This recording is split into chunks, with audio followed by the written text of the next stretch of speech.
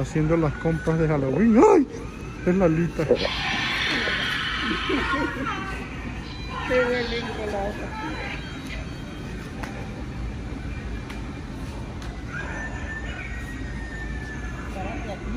Este es el que da más miedo.